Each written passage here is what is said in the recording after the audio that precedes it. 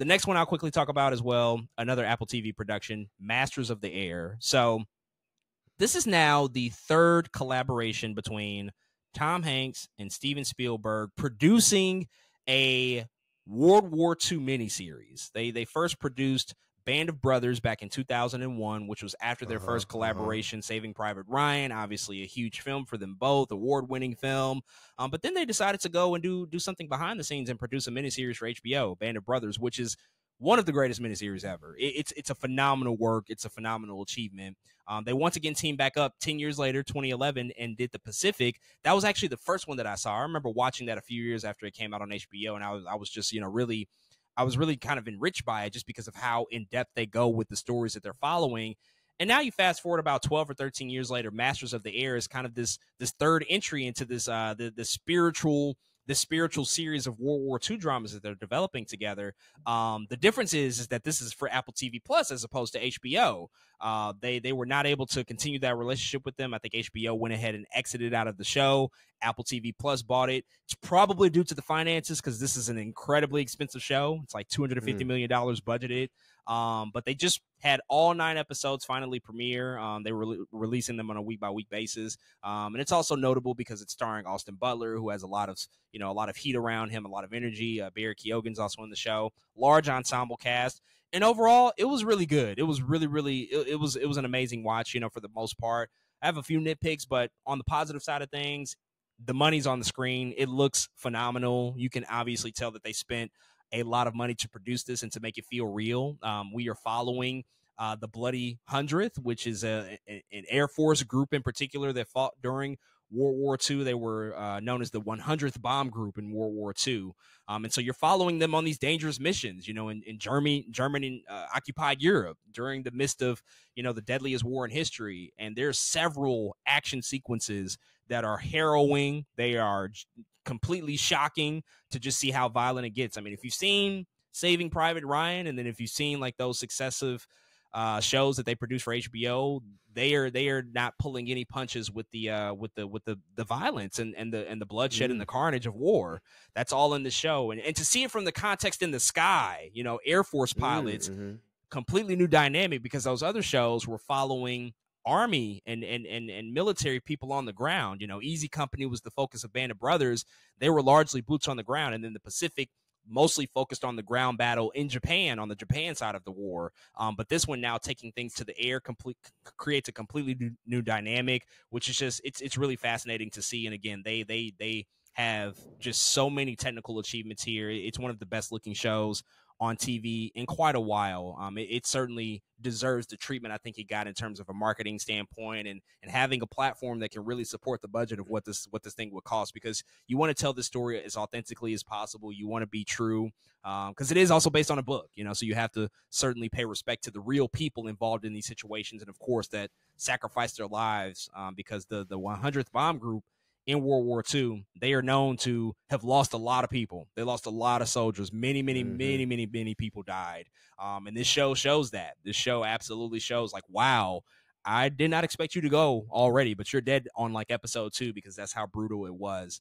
Um, the only thing I will say about the show is that I think you know it's hard to not compare it to those other two achievements, um, especially Band of Brothers. That one in particular is really just a it's a real hallmark of television. Um, one of the things that Band of Brothers did when it was profiling Easy Company is that every episode started off with an interview with a real soldier, with a real person, um, giving their perspective on a Mm. certain situation, and oftentimes that episode would be would be that very event that they just talked about for the first like two or three minutes. They would talk about the circumstances and why they were in a certain places and and how much it impacted their lives and how how deadly it might have been. And then you spend the entire episode kind of focused on that on that moment. We don't get that here because they decided to do a standalone, separate documentary instead, which also dropped alongside the season pre- or the series premiere. Um, Right. Not the premiere, but the, the the the finale. I'm mistaken. Um, it just dropped, but they they they mostly I think reserve a lot of those real interviews, those real testimonies for that documentary, which comes out alongside that. I haven't watched it yet. You know, I want to try to you know hopefully get around to it. Um, but I thought that that touch was you know kind of missing. Um, and another thing that is a bit of a drawback, uh, they heavily promoted and marketed the Tuskegee Airmen in this show. And unfortunately, they are kind of an afterthought. We don't see them until episode eight of nine. So really the Mm, mhm, penultimate mhm. episode. And so I was like looking for them the entire show. I'm like, where the where's this gonna come in? Like there's a lot of characters, a lot of story. We're kind of getting to the end here. It feels like we're kind of rushing, and I think that they they they held their they held their guns too long on that one. Uh, no pun intended. But um, that that was a little disappointing to see because I really wanted to get more into that, especially because they were so featured in the marketing in, in such a heavy context. Um, so by the end of it, a lot of the pacing, I think we felt a little bit rushed, you know, by it. I think it was uh, one of those things where all of the stories, all of the threads weren't necessarily wrapped up in the best way because there are so many characters and so many threads um, in the Mhm. story. But you know, beyond that, it's still it's still an achievement. I think of a tel- television show, um, especially in this landscape, to get something that you know it kind of feels like you know Apple is is is they're not taking the place of HBO, but they are forging their own path and, and taking on some real quality stories and quality series and working with the likes of Tom Hanks and Steven Spielberg for you know the, now their third collaboration in this in this context. That's that's that's definitely a coup for them. And so um, overall, I thought it was a really really solid show, really really great addition to the spiritual trilogy of World War II dramas that they've made. Yeah, I was gonna bring up exactly what you just said. Apple TV's kind of eating in terms of they're not just putting out stuff. Just you know what I'm saying? Like they are actually curating everything I feel like that they want to do, and I have to give them props for that. You know what I'm saying? You just talked about Spielberg and Hanks. They got they got Scorsese on there now. They got Ridley Scott on there. You know what I'm saying? They they The doing it. Coen brother, Uh, Ethan Co- or the Coen- Joe, uh, Joe Coen with uh, the tragedy of Macbeth. Yeah, yeah. Oh man, you were just talking about lessons in chemistry, and we've talked about morning show and Ted Lasso, and they're they own to something. So shout shout out to Apple TV, man. That's that's that's that's pretty dope. They can Uh, afford to for sure. I mean, they got they got the money. Uh, I think uh, the the money No, that they absolutely. spend on on their product, it's really a drop in the bucket for Apple as a company. Uh, Mhm. It's unfortunate though. Like I saw some data a while ago. I think it was right before the premiere of Masters of the Air. In fact, um, and they've had a lot come out. They had lessons in chemistry that led into this. Mhm. They have another show out right now um, that's getting some attention about the fashion industry in the '70s, if I'm not mistaken. Um, and and and nobody's watching their stuff. Like no, comparatively to the other big platforms, you know, the Disney Pluses Right. and Netflixes, Mhm. nobody's really watching this stuff. I think that their numbers are super super low. Which you know, a part of me is like, I wish that that was not the case. I wish more people obviously saw these good things, but at the same time, it also kind of signals to me that they're doing it for the love of actually like creating exactly. quality Exactly. productions, quality films, quality TV shows. I was very skeptical of Apple before they launched their, their service. I'm like, why? What are you Mhm. doing? But they've proven time and time again, like as you said, they are curating a fine Mm-hmm. selection of quality things. You know, everything doesn't work, but I mean, I get on their platform far more than I do on a Netflix, if I'm just being honest. You know, it's it's just one of those places where it's like I'd be more willing to take a chance on a new Exactly. Apple TV Plus show than I would on a Netflix show or a movie. Like I'm gonna go there first if I if I if I could choose. Yeah, because it feels like they're trying. I know it sounds crazy. It's not like Netflix isn't like trying, but you know they Netflix is all about how much content can be get on this platform right now. Yeah, and and now they're try- they're trying to reel that back now. But those Mhm, first few right. years, it was like let's just churn and burn and just like get through it. But I think they're seeing like they're seeing their counterparts like Apple, like oh well, wait, like if we actually take our time and like really really pay attention, maybe we can get that Best Picture Oscar that Apple already beat us to with Coda a few years ago. Like we still have gotten Mm, Netflix true. still hasn't gotten that, but Apple, you know, they they picked a good one there.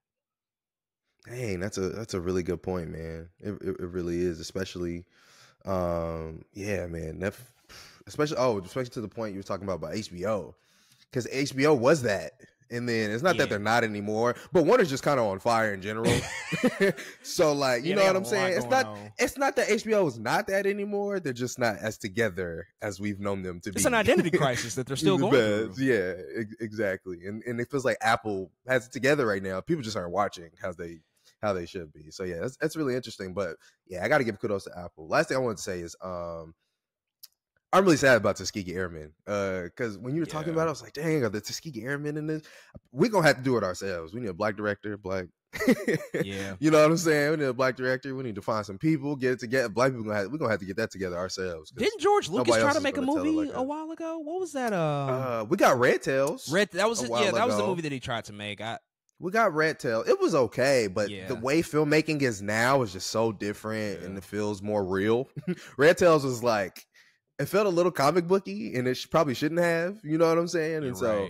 I remember I, that too. uh, It was. It was. yeah. It felt a little removed from the real world for whatever re- weird reason. It was strange. Yeah, it's like they were a little too superhero ish, Yeah. if that makes sense. Like we need a little more human side. So hopefully, somebody, another director comes and somebody wants to tackle the Tuskegee Airmen, and we can get shoot if Apple TV is willing to do it. Apple TV pick up Tuskegee Airmen show just like this and a documentary right next to it. God damn it! But yeah, I just I just wanted to add that. No doubt. That that that would be nice to see. I think I think a proper treatment i- it's overdue at this at this particular point. Um, do you think Apple is going to like? It feels like they're probably going to buy a movie studio soon. Like that. That feels as as we're talking about their Mm. their place in the industry. I feel like they're probably going to make a purchase or a play for somebody. Uh, and the most likely candidates at this particular point, I'd say Paramount. That that is you know number Okay. one probably most likely because they are also on fire. Uh, Mhm. no shots, just real.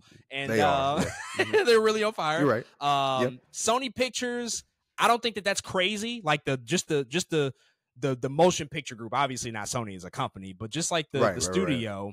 Um, and eh, Warner Brothers Discovery. That could still be a thing. Like that. I feel Oof. like that could still happen. You know, another Yeah. another purchase. Um, I, I feel like within the next two to three years, that that's my prediction that they're gonna eventually make a play and become a serious Mhm. contender on the theatrical side. You know, while they're still bolstering their streaming service to create just a pipeline because we saw both Napoleon and Killers of the Flower Moon.